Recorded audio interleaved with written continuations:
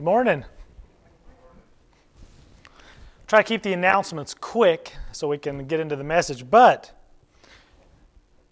the 23rd, we are having a great time here. We're having an Easter egg hunt, we're having brunch, we're having breakfast. Bring your little ones. We've passed out little uh, cards with gifts. We're getting great uh, responses from that.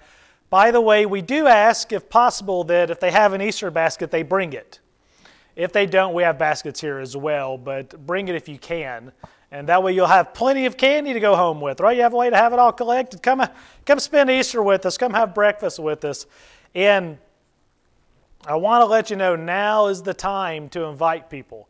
We've got some fun messages coming up. I think they're fun. We got some really good messages coming up. Um, next week, we're going to talk about Judas, the inside outside guy. The week after that, we're talking about Barabbas and how Jesus literally died on his cross and mine and yours. We're looking at that. And then he is risen. Right, church? Now's the time. I said, He is risen. I'm used to people shouting back, He is risen indeed, but close enough. Close enough. Well, really, it's a great time to be here and be a part of New Hope. If you have your Bibles, turn to Matthew. We're going to be in uh, chap- chapter 27, where we will be today. So, if you've been with us in our Easter study, we've been looking at different individuals, and we're going to continue with that as we look next week at Judas, and then at Barabbas, and then at Christ and the, the Father and the resurrection. Fun series, fun time to be here. If you began with this, you know that we talked about Jesus and his time with the religious rulers and on trial with them, and how, how there were so many reasons why they could not do what they did, and they broke every law they possibly could think of trying to get him. And then when they finally had him on a made up charge, they switched it when they went to Caesar, I mean, when they went to Pilate and lied about that. And then we talked about Pilate and how he was twice before Pilate, once with Herod, and how Pilate was actually pretty interested in doing the right thing, but only to a certain level because what he cared more about that was his reputation and his prominence and his, his wanting to get along to go along. And then how Herod, Herod just wanted to be entertained. Just show me some miracles while you're here. And how none of these guys found any actual wrong with them, but they didn't care. What they wanted above all else was not to rack the status quo, which is the same thing the religious rulers wanted. They wanted to quiet this guy down because they wanted to be powerful, they wanted to be wealthy, they wanted to be in charge, they wanted it to be all about me. And even having the Messiah here could mess that up. And so they wanted him dead.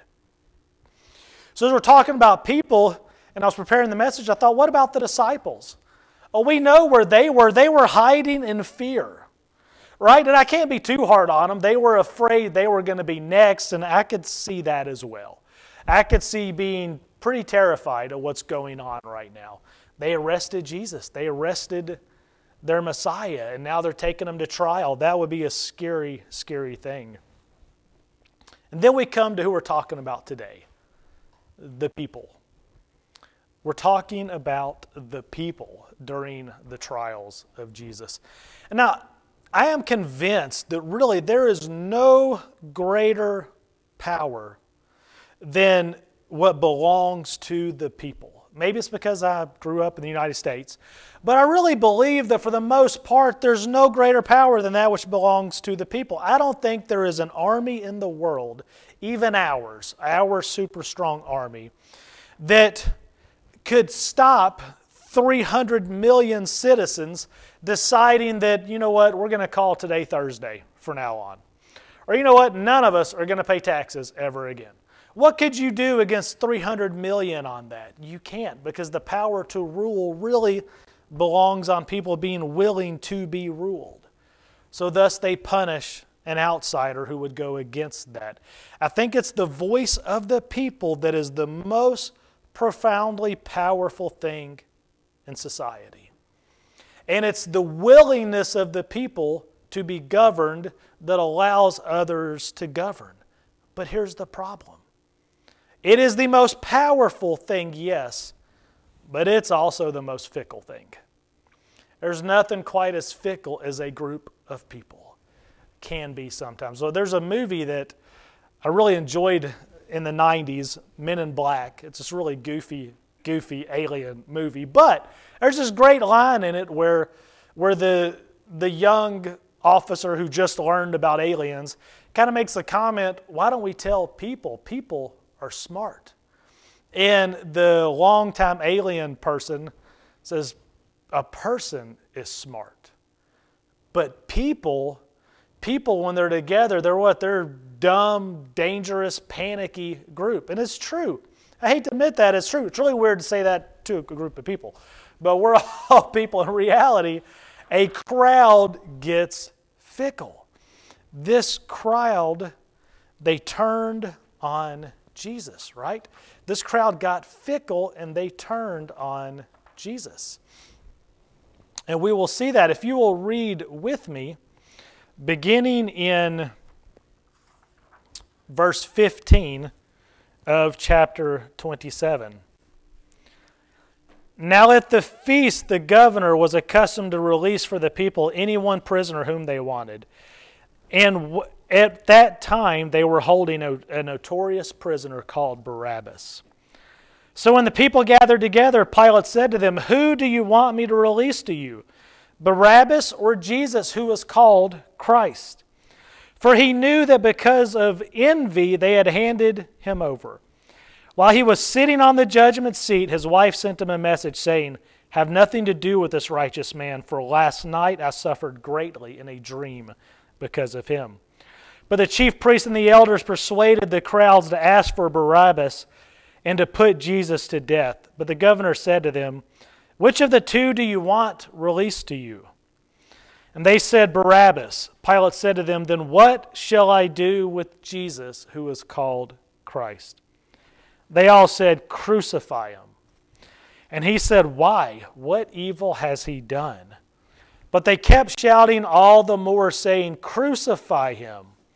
When Pilate saw that he was accomplishing nothing, but rather that a riot was starting, he took water and washed his hands in front of the crowd, saying, I am innocent of this man's blood. See to that yourselves. And all the people said, His blood shall be on us and our children. And then he released Barabbas to them, or for them.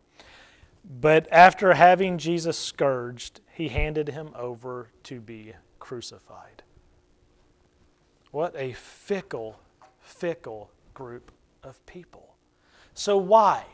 Why did this happen? As we read this passage, as we look at other gospels, why did this happen? What were the events?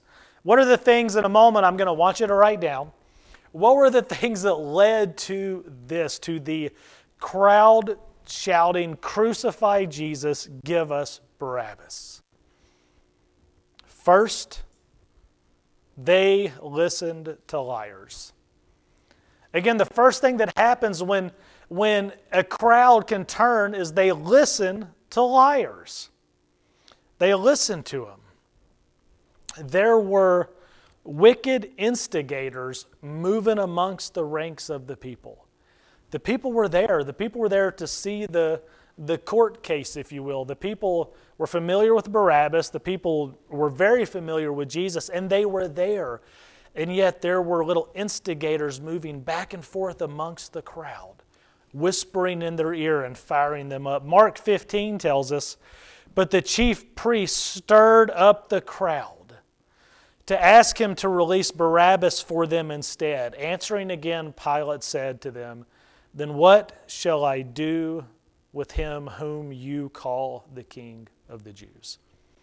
What should I do? What should I do? You know, I've seen this in my life. I have seen this in my life, and I've seen people who go along with the crowd. Everyone says, This guy is really, really bad. This guy is terrible. This guy is evil. This guy wants to harm the world. If you'll just turn on any news station, there's a station talking about one leader. This guy is nothing, nothing but evil, evil, evil, evil. And then you flip to another channel, they're like, No, no, this guy's great. This guy is the evil guy. This guy is the bad guy. He's the, the horrible one. It's always one group and another group, and they're stirring each other up. He's either super, super good or he's super, super bad. And I have gone into election seasons. I hate to get political for a moment, but I'm going to. I've gone into election seasons and I've wondered how that person with that sticker opposite of my sticker, how can they be so stirred up, so wrong, so completely confused about every single thing that they would vote for that guy? And then to my astonishment, they look at me in the same way. And I'm like, but I'm right and you're wrong. That's the clear answer, right? I know it all, you must know nothing. We have these arguments. We get that kind of stirred up. The crowd was caught up in emotion because there were people working amongst them saying, Don't look at Jesus, look to Barabbas. Don't look to Jesus, look to what you most want. And what is it you most want? What is it most of us want? Comfort, right? We want our pain to go away. We want our struggle to be removed. I want to take you back, way back 2,000 years, to a group of people who, for hundreds of years, had been imprisoned, in essence. They'd been occupied, and really for thousand years before that, a different occupier, a different occupier, a different occupier. The one thing the Jews really had in common is the ability to not rule themselves. They continually had somebody with their thumb on them holding them down. How long would it take you to be sick of that? I've got about 14 minutes of that, and then I'm ready to fight, right? It doesn't take long, and they generation to generation to generation to generation of imprisonment, of someone holding them down, somebody ruling them, and now they've got these Romans living amongst them who are just taxing them to death. You made $11, I want eight of it. Bring it to me, and I will make up the reason the tax is for. This is for some new made up tax. I see that you went fishing and you brought 11 fish you caught. I'm going to want three of those fish. Even though you went and did the work and you were going to feed your family, you know what? Your family can eat, but maybe not on so much stuff. This is what they were dealing with. Oh, and I might just kill you tomorrow. No reason whatsoever. We may just kill granddad in the yard because he looked at somebody wrong. That is what they were dealing with, and they were sick of it. And so they were hoping for quick, easy change. They're easy to be stirred up.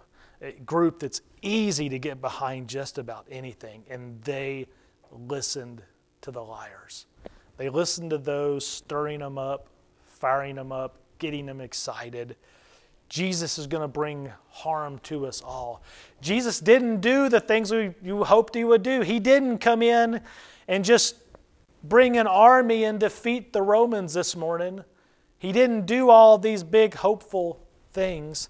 He's going to bring harm to us. But more than that, they wanted to stay in power. So they excited the crowd who listened to liars, number one. Number two, the second failure of this crowd is they were committed only to carnival. That's it. They were committed to carnival. They listened to liars and they were committed to carnival. What does that mean? They wanted a show. They wanted a show. They wanted the what can you do for me today? That's all they cared about. If you wouldn't mind flipping over six chapters to Matthew 21. Matthew 21, we're going to begin in 1 and give you a moment to get there.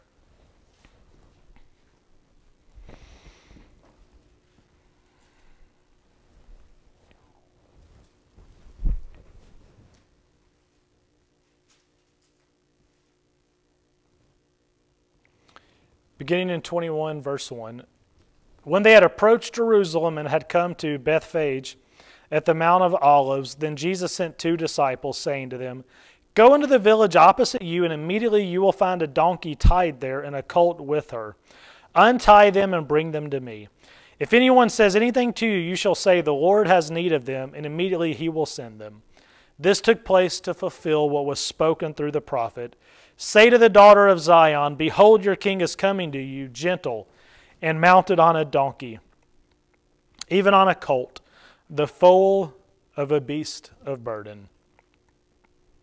The disciples went and did just as Jesus had instructed them, and brought the donkey and the colt, and laid their coats on them, and he sat on the coats. Most of the crowd spread their coats in the road, and others were cutting branches from the trees and spreading them in the road. The crowds going ahead of him and those who followed him were shouting, Hosanna to the Son of David! Blessed is he who comes in the name of the Lord, Hosanna in the highest. When he had entered Jerusalem, all the city was stirred, saying, Who is this? And the crowds were saying, This is the prophet Jesus from Nazareth in Galilee. Hosanna. Hosanna, Hosanna, Hosanna. What an event. Like, wow, right? I mean, what an event. Can you imagine? I know you've actually probably seen it. If you've been to many church plays, you've seen that moment where they have the palm branches and they're waving them and they're setting them in the ground, throwing them around. I mean, they're putting blankets. This is such an exciting event. And what this moment was, was also political. This moment was the invitation, if you will, of the king.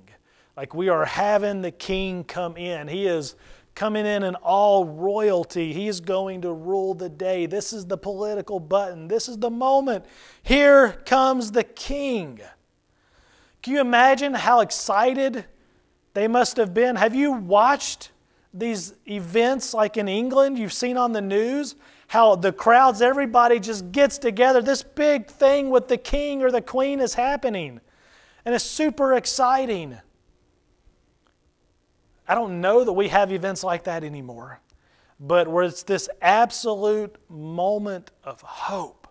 Things are about to change.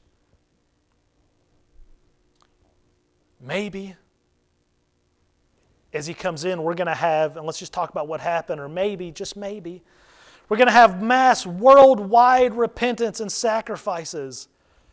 Maybe Caesar's going to send an envoy, and the envoy is going to come and apologize for everything we did, and here's a bunch of gold to you to set up your kingdom in Jerusalem. Maybe Jesus would go into the temple and set up a throne in the Holy of Holies, and we will go and worship Him. Maybe, maybe instead, He's going to return to sitting on the throne of David, and we're going to punish the Romans and punish the Persians and punish the Babylonians. We're going to punish all these people, maybe.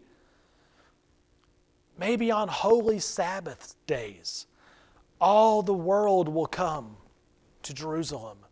The Gentiles will come and pay homage for all the years that they didn't celebrate our festivals.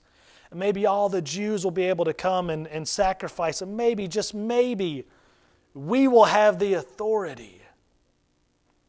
That's not how it went, though, is it?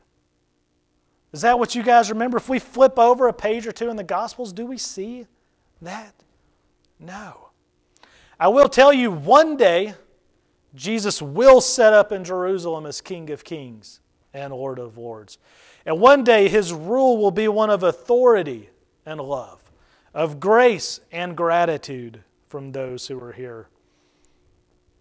One day, one day, that will happen. But today, that Sunday, or that Saturday, that day, thousands of years ago, that moment, that Palm Sunday, they were declaring him king. They were declaring him king. And then a few days later, they were nailing him to the cross and celebrating it and cheering it and being joyous about it without him performing some national evil. Why? How could that happen? Because they were only committed to Jesus for what they could get out of the relationship. That's all they cared about. What can he do for me? And so I've got a few reasons why some people come to Jesus. Number one, some people come to Jesus because eternal life sounds a lot better than hell. Let's just call it like it is. Some people come to Jesus because eternal life sounds a lot better than the other option. And I will grant you this is certainly true. This is certainly something that different seasons in my life, heaven sounded a whole lot better. Actually, every season of my life, heaven sounds a whole lot better. But certain times, that was the main thing I cared about. There's been times in my life where my heart was right here. As a teenager, I've been running to Jesus because I was terrified of an incredibly angry God. Anybody been there before? Has anybody been there before? I am just terrified of God who's ready to judge, ready to pounce, ready to strike me dead. I think there was even a line in a movie, Oh, spite me, thy great spiter, or that mighty spider, whatever he shouted. I think it was maybe Forrest Gump. But it was this idea that, that I am running to God because I don't want the other option. And that's a good place to start. That is a great place to start because none of us should want the other option. We'll call these people wrath fleers. And at different times in my life, I've been a wrath fleer. But then some other people, some other people come to Jesus not because of hell, but because of life. It's grace that gets these people. These are the people who have looked in the mirror. They've taken a hard look at themselves and they've seen their heart. They've seen their sin. They've seen their failure. They've possibly seen God's holiness and recognize how far they are. These people have actually tasted and felt shame. And they felt that sting of sorrow and of guilt. And I'm convinced that if Jesus offered nothing other than forgiveness of sin, and a relationship with God right now on earth. And when you died, you went into the void of nothingness no memory, no thought, no anything. Those people would still come running because they seek grace and they seek forgiveness.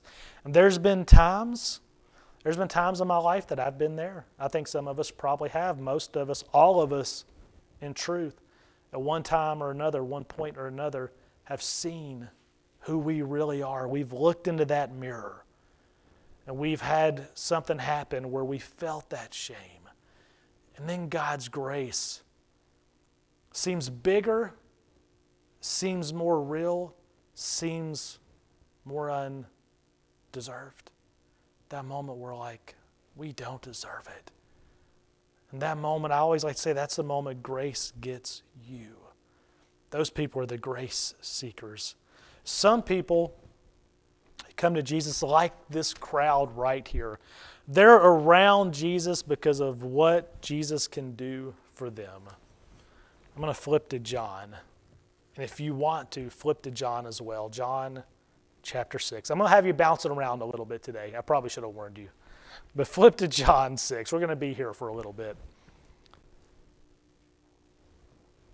I'll give you guys just a minute to get there. John 6, verse 60.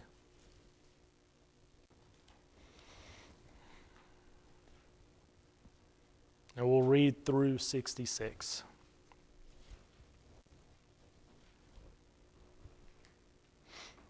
He had just been preaching to him, and after he'd finished this message, it begins in 60. Therefore, many of his disciples, not one or two, but many of his disciples, when they heard this, said, This is a difficult statement. Who can listen to it? But Jesus, conscious that his disciples grumbled at this, said to them, Does this cause you to stumble? What then if you see the Son of Man ascending to where he was before? It is the Spirit who gives life, the flesh profits nothing.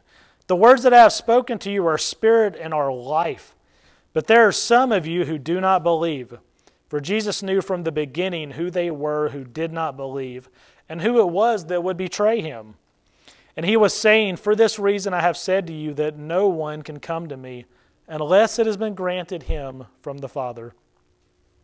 As a result of this, many of his disciples withdrew and were not walking with him anymore. I will Danielize this. Many of his disciples recognized that they weren't going to get out of it what they wanted, and they left him because they were in this for themselves. What they wanted was what they could get from God in this scenario. I mean, this is a time where he was a celebrity in essence. How popular will I get? How much power am I going to have? Am I going to be the head of the army? Am I going to be in charge? When we go and conquer the world, am I going to sit on the cabinet? What powerful position do I get for hanging out with you? How many times do people leave the church over this reason or that reason? I put one reason, two reasons, three reasons, four. Some people will seek any reason to walk out that door. I just created a limerick for us, New Hope. So we should be proud of the little poem, but people will seek any reason whatsoever when they're in it for themselves. When they're in it for themselves. I've known so many like this. I've known so many who have left. They leave forever. They don't leave a congregation. It's not that they left New Hope and went to some other church. So many will leave faith because somebody said something, somebody did something, somebody said something to them they did not like. Sometimes what was said was wrong, but a lot of times what they said was the truth that they needed to hear. And so that person leaves the church because of it. In truth, what they really leave is the connection of looking religious because of it, because it just wasn't worth it anymore. Oftentimes, more common, in my opinion, they leave because they had a need and God did not immediately answer that prayer. He didn't immediately go make it go away. He didn't immediately remove the pain, remove the sting, remove the failure. And I'll admit a lot of times our failures are what we call reaping what you sowed. And but God didn't take that away. He, or the church either did not know, did not recognize, or did not have the ability, or chose not to spring into action and just fix it for them. And at that point, they leave. A lot of times we hear this, a lot of times in counseling, I have heard this. I prayed and he did not answer. I prayed for this and he did not respond. I had this coming and he did not fix it. I prayed and heard nothing. To which I often want to say and have sometimes said, Oh, I'm sorry. Were you God? Is that what happened? Were you God in this relationship? Because I thought God was God and that I was the creation. I thought He was the potter, I am the clay. He is the creator, I am the creation. He is the authority, I am submissive. He is the grace granter, I am the grace receiver. He is the forgiver, I am the sinner. I am the guilty one. He is the Savior. Some people miss it. Some people miss it. Fourth group. Some people, some people do not come to Jesus at all. They just won't do it. Matthew 13 tells us a story. And in that story, Jesus is talking about a man who was sowing. He was throwing seed. You guys know the story.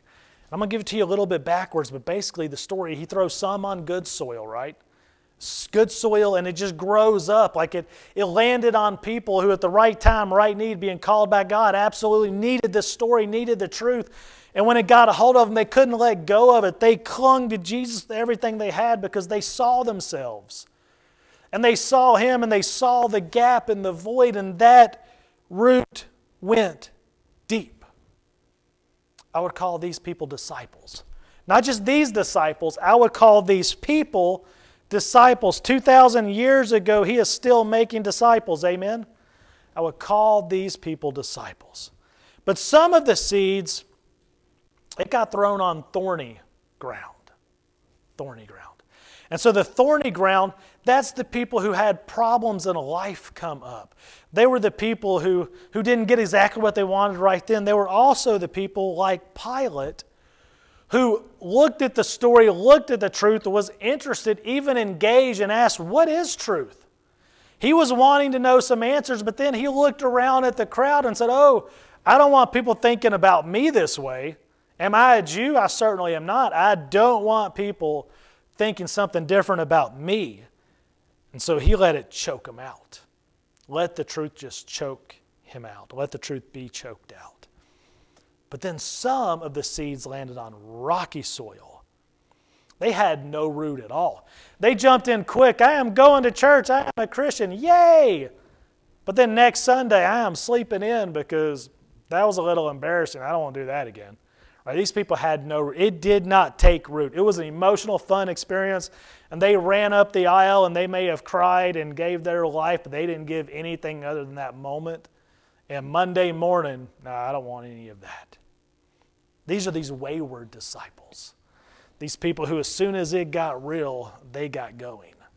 That's the wayward disciple. Then finally, finally, some of the seeds fell on the concrete which meant the whole time Jesus was talking, they were thinking their response instead of listening. I've been in a lot of arguments where I played this role, where the whole time they were speaking, I was just thinking about how I was going to respond, and I never heard what they were saying. No empathy was applied, no grace was applied, no intelligence from Daniel was applied, because I was just thinking of what I was going to say. These are the religious leaders. These are a lot of people today. It doesn't matter if you literally hit them in the face with truth, they're not going to hear it because all they care about is their response. It never went anywhere. The third failure of this crowd. Remember, number one, they listened to liars. Number two, they were committed to carnival. And then finally, three, they sought not the Savior. Number three, they sought not the Savior. I'm going to have you go back to Matthew 27, but keep your finger here in John for me. Like, don't lose John 660. But we'll go back to 27, or I can just tell you that it's just one verse. I can just read it to you if you don't want to flip back. John 27, 22. Pilate said to them, Then what shall I do with Jesus who is called Christ? What shall I do with Jesus? There is no more profound question that I can find in all of Scripture. We can sit here and read all of it. You're not going to find a more profound Scripture. And I would argue there's no more profound question in all of history than the question of what shall I do with Jesus? And there's no more important question for each one of us to answer right here, right now, today. What shall I do with Jesus? You see, some people, as we're going through our people, some people, our fifth group of people, some Christians, some disciples, some sinners, some saints, some mature, some immature people come to Jesus because He is the King of Kings, the Lord of Lords. They come to him because he is the very great I am, which is the name God gives for himself. The reason I had you keep your finger in John is I want you to see that laid out. Here is the last little bit 67 to 69. So Jesus said to the twelve, his little group that didn't go away, You do not want to go away also, do you? Simon Peter answered him, Lord, to whom shall we go? You have the words of eternal life. We have believed and have come to know that you are the Holy One of God. What a response. Where could I go? It is you, Jesus. I am forever with you because of who you are. So, what then shall I do with Jesus?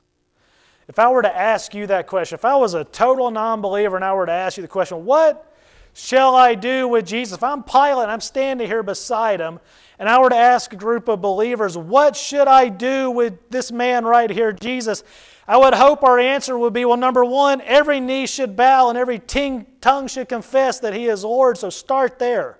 Start by bowing to Him, confessing He is Lord. And then I've got some stuff for you to obey because Lord means He's the one in charge. He's the authority. He's the one who makes the rules. Number one, love God with all you got. Right?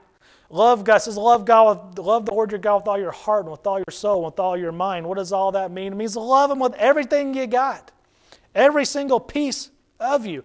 Love God with your best.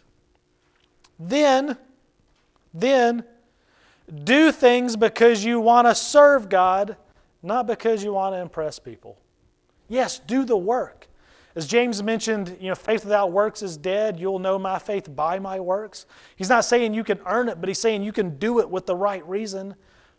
Do it because you love God and you want to serve God. We're about to have in two weeks, we're going to have Easter egg hunt. We're going to be hiding those eggs because we want to serve God. And we serve God by bringing joy to those children, right? That's the things I want you to see that Christian people love people and they're good people, and it's because God loves them. And I want you to feel the joy that we have. So let's go hide an egg and find the egg and laugh and engage them. Serve God. Not because you want people to be impressed, but because you want to serve God. Number three, humble yourself. Truthfully, all of these require this. Humble yourself. Number four, follow Jesus, come what may. Maybe you're healed, maybe you get sick. Maybe you get a great job, a great income, maybe you lose everything. Maybe you have four suits, maybe you barely have a shirt on your back. Maybe you're hungry, maybe you're well fed. Maybe you're out preaching and leading millions to Christ. Maybe you're in a dungeon being beaten for Jesus. Serve Jesus, come what may. Number five, pray. And then pray some more, and then keep on praying. Right? That's that other piece. Pray, and then pray some more, and then keep on praying. This one I had some fun with, number six. Don't sweat the small stuff. And don't sweat the big stuff either, right? Don't sweat the small stuff and don't sweat the big stuff either. Why? Because God's got you. God's got you. He's got you right where He wants you, and He's got His hand on the future, and He knows and loves you, and He's got it taken care of. Which leads us to number seven trust God, even over money. Trust God even over money. That's how we love God. Then he tells us do something else, right? What's that other piece? This is the harder one, I think. Love others. He tells us to love others. How do we love others? Number one, you love your neighbor the same as you love yourself, which means I take care of my neighbor the same I take care of me. If I'm cutting my grass and my neighbor can't cut their grass, something happened. If I have time, maybe it's okay for me to cut their grass. If I've made a big roast and I know my neighbor is hungry today, maybe it's okay if I bring them some dinner or have them over. And there's no no requirements on it and there's no I've brought the news crew over so they can all see me give you this meal. Maybe just maybe I love my neighbor and I take care of them just like I love and take care of myself. Number 2, maybe I love Christians the same way Jesus loved the disciples. That's that other piece. I'm going to love Christians the same way Jesus loved the disciples, which goes beyond how you love your neighbor, right? It's beyond that. It's harder, it's more intimate, it's more time consuming, it's, I'd say, more exhausting. It can get to the point where sometimes, like, oh man, the last thing I want to do is answer this phone call. Hello. Right? That's part of it. I'm going to love Christians the same way Jesus loved his disciples. And then, here's the next step of that. It's like part B of that. I'm going to love fellow believers, whether they're in my church or not. I'm going to love fellow Christians so much, so hard, so openly that non Christians start talking about it. Right? Because he wanted that. He wanted our love for each other to be so amazing and so public that non believers are like, what is wrong with those people? They just met each other big hug and they're laughing and talking. They're absolutely giving everything they got to take care of each other, and they don't even know each other. They don't even go to the same church. Why are the Nazarenes cutting the Baptist grass? I don't understand what's happening here. We're going to love each other so much, non believers start talking about it. And then here's where it gets tougher love those that hate you. Let's go beyond the next door neighbor thing. Love those people who have it in for you. They hate you. Treat them well. Treat them with kindness. Do for them. And do for them out of the way God loves you. I forget our numbers. I think we're on five. Treat others like you want to be treated and not like you have been treated. So treat them how you want to be treated and not like they treated you. Number six, the same one came, this is um, dealing with God too and with others. Be humble. Be humble before God, be humble before others. I think we're at seven. Are we at seven? Let's call it seven. Number seven, pray for those that hurt you. Number seven, pray for those that hurt you. Number eight goes on, it attaches to love those that hate you. This one says, do good to those that hate you, which goes beyond emotion, but do actions. Do actions to better those who want to harm you. There's nothing more powerful or more effective in life than being kind to somebody who's mean to you. I think the Bible calls it throwing hot coals on their head. And the Bible saying don't actually throw hot coals on their head. That, that's bad. Go the other way and be so kind that it's hard for them to continue the hate. Number nine, serve others. Serve others. Number 10, bless those that curse you. Do not judge others. Number 11, do not judge others. Number 12, do not condemn others. This one's interesting. 13. Always do more for others than they ask. Always do more for others than they ask. Going back to the lawn, I don't know why, I guess because spring, we're about to start cutting the grass again.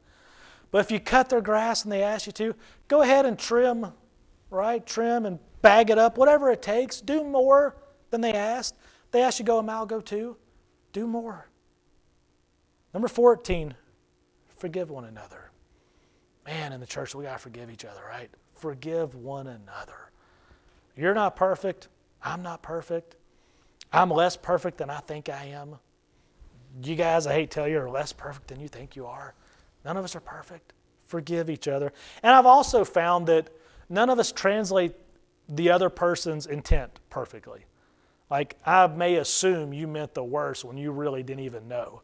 And you may assume that this was intentional and I didn't even think of you, right? Never, never do that. Forgive each other. 15, which I think we're at, we'll just call it 15. Be merciful. Be merciful. 16, I like it. If someone upsets you, go talk to them. Just go talk to them. And if they still don't understand or they still hold firm on it, then get someone to go with you who agrees with you that this probably was wrong and go talk to them. Number 17 is the other side of that same coin. If you know you upset someone, guess what, church? Go talk to them, right? Go talk to them and make it right. Number 18, if you say yes, let it be yes. If you say no, let it be no. Let your yes be yes, your no be no, which I like to say means say what you will do and do what you say. That's it. Number 19, give to anyone who asks. If they ask of you and you got it, honor Jesus, give to him. Give to anyone who asks. Number 20, teach new disciples how to do these things. so, going back to our question, what shall I do with Jesus the Messiah? What should you do with Jesus the Messiah? declare him Lord of Lords, King of Kings of your life, then follow his commands. As Jesus said, if you love me, keep my commandments. And we just went through what they were. Amen? Let's pray. Father God, Lord, thank you for Jesus who showing us the way as he declares, I am the way, and the truth that he gives us and the life that he freely gives for us.